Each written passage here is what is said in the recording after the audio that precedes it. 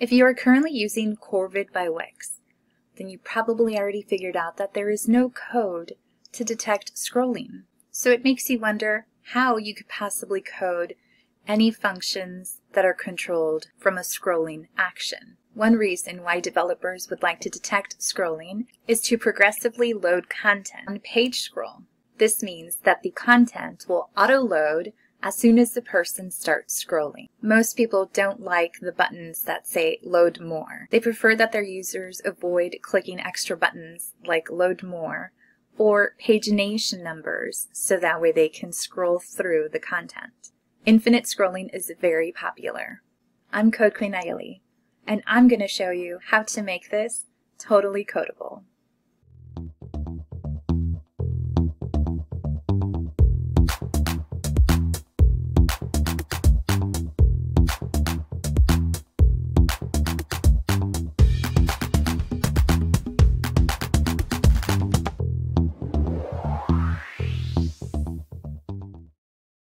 If you're watching this tutorial on YouTube, please click on the video description and find the link to the tutorial site.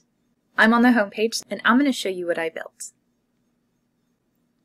All I did was connect the repeater to a data set and added a tiny bit of code. Now keep an eye on the very bottom of my page. As I scroll down, you're going to see a small loading GIF as it loads more content. Ready? Did you see that? I only have nine items. Let me refresh the page once again. Keep an eye at the bottom of the page. Here we go. Did you see it now? Pause the video, go back just a little bit so you can see it. Or wait just one more second while I get into the editor and I'll show you what it looks like. This is the home page. I have a simple repeater connected to a data set and on the very bottom, I have a strip that has a GIF. I'm going to show you exactly how I created this, and probably in under five minutes, you can have one just like this. Now I've already duplicated a page, so I'm going to go to my site menu and go to a copy of the home page. Of course, it's missing some elements now, because I want to walk you through the steps, so you can get it working exactly the same way. First, I'm going to click on the plus sign, and I'm going to go to lists and grids. You can drag and drop any of these repeaters. I'm going to use the top one. But this time I'm not going to change the design. I'm going to leave it as is. I'm going to drag it and drop it to make sure it attaches to my strip. Because my page is built on different strips. I'm going to take the bottom of the strip, stretch it all the way up to the top. You will click on the plus sign, and you're going to scroll down and look for the word Content Manager. If you don't see the word Content Manager, then you'll probably see the word Database. Wix recently updated their editor. From here, you're going to look through the different options and find the one that says Dataset. Click on the plus sign to add a dataset to the page. The example that we are using is by connecting it to a Wix stores. You can use this tutorial method on any database that you've created yourself, or you can use this method on any database collection that Wix automatically generates for you. For example, if I go down to the bottom, if I open up the site structure panel using the arrow at the very bottom corner, I'll be able to see under database all the different databases that I have access to based on the Wix apps that I've installed on this site.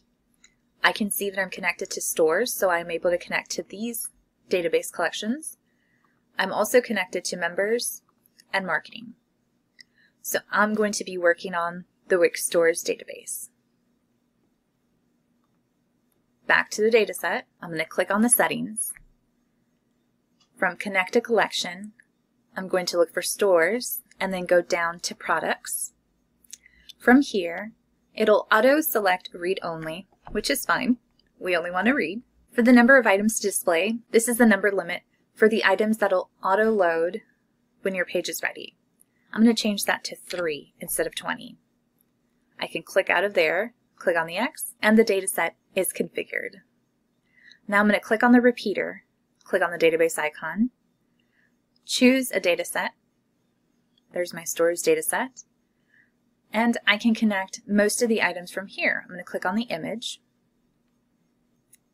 Image will be connected to the main media. Alt text, I will connect it to the name. Tooltip, I will connect it to the name. And the links to will be connected to the product page URL. If I scroll back up, go back to all connections, I can connect the next item. I'm going to connect this to the name. And scroll down the list and connect each one. I am going to connect the button. And I want to connect it also to the product page URL. I'm not done yet. I still need to build the bottom part. So remember we built this on a strip. But if you see here, there's another strip underneath. Try to avoid moving your page manually. Do not adjust the height. Let the page auto adjust so that way there are no gaps on the page. On the plus sign, we're going to go down to strip, classic, and click on one. I'm going to move this strip up and move the other strip down. Notice that I am not manually adjusting the height of the page. It is auto adjusting just by using these drag handles to push the elements up or down. I'm going to push this one all the way up and I'm going to change the background to zero opacity. From here, I'm going to go into my media, image, my uploads, and I can select a GIF. Now you don't have to have the GIF, but that simulates the feeling that something is loading on the page, so I definitely do recommend you use some type of GIF.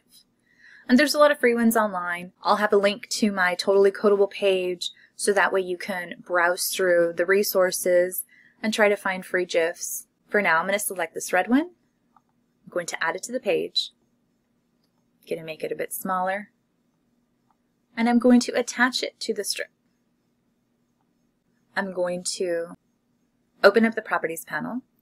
So you can right click, select View Properties, and then when the Properties panel opens for this GIF, I'm going to click Hidden on Load. I can change the name, Loading GIF, and for this strip, I will change the name as well to Loading Strip. From here, with the Properties panel open, I'm going to turn on the On Viewport Enter. Enter. this means as soon as this strip comes into view on the page, I want the code to do something. So let me get a copy of my code from the home page.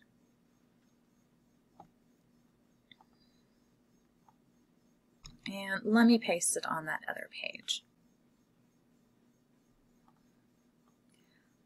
Inside of the export function that got auto-generated when you clicked on viewport enter, I pasted the code. I will drop a link in the tutorial description so you can copy and paste the code from my tutorial site. We're going to change the code just a little bit. The loading GIF, I'm going to edit on the first line of the code. For the dataset, just make sure that your dataset name matches what is on your page. And then for the third line, you're also going to put the name of your GIF. Now, if you notice, I am typing in a few letters and Wix is suggesting a couple of matches on the page. If you click on one of those, it'll autocomplete the code for you. And that's it. This is all the code that you need to make that lazy loading effect. Let's go ahead and save it and preview. There we go. Did you see it load that time? Amazing, right? Just a tiny bit of code and a very fancy design that hopefully you can use on your website. Remember, if you have any questions, please look us up on Facebook. We are the Totally Codable largest Corvid code group on Facebook. You can also visit totallycodable.com for other pieces of codes and other tutorials. Or if you still can't find your answers, I am available for private tutoring. Follow this booking link on the tutorial site and it'll take you to my website to book a session with me. I'm Code Queen Nayeli, and this was another Totally Codable Moment.